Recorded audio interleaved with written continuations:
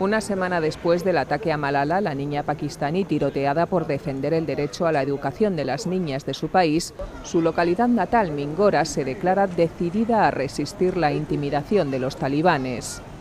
Su escuela sigue abierta, pero el miedo se palpa en el ambiente. Tras el atentado a Malala, la mitad de las alumnas faltó a clase, pero poco a poco van volviendo. Dejan su pupitre vacío y defienden el discurso de su amiga, decididas a continuar con sus estudios.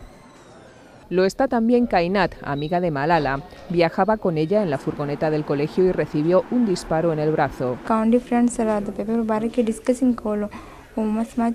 En su casa, donde se recupera, nos cuenta con sorprendente tranquilidad que volvían de la escuela hablando de un examen cuando un hombre paró el vehículo, preguntó por Malala y le disparó, hiriendo también a otras dos chicas.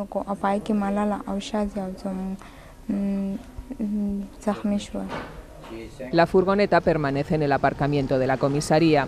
La policía dice estar cerca de resolver el caso, pero todavía no ha dado con los culpables, a pesar de haber interrogado a más de un centenar de personas.